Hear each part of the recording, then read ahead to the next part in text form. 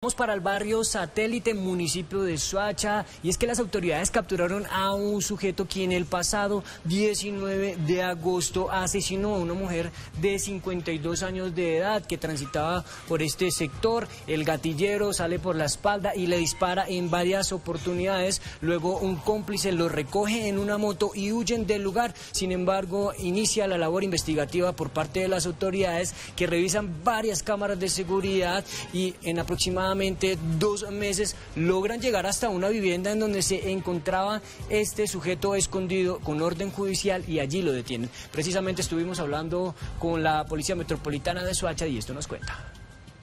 Logran en las últimas horas la captura de un hombre por orden judicial por el delito de homicidio agravado tentado, quien sería el presunto responsable del homicidio de una mujer presentado el pasado 19 de agosto en la Comuna 2 Centro, los hechos se presentaron en el barrio Satélite, lugar en donde fue ultimada una mujer de 52 años de edad por un sujeto quien le propinó dos impactos con arma de fuego causándole la muerte de manera instantánea.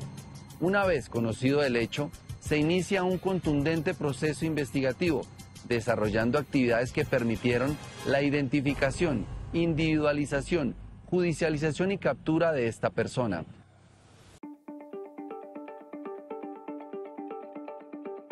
Suscríbase a nuestro canal de YouTube, active la campana y no se pierda las últimas noticias. Somos Canal City TV.